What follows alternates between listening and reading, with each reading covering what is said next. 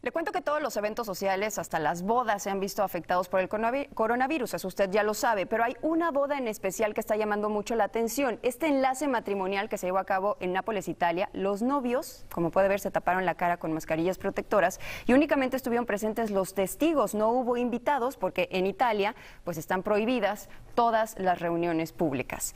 Mucha atención, Estados Unidos entrará en estado de emergencia nacional por el coronavirus. De esta manera lo anunciará el presidente Donald Trump debido a su expansión.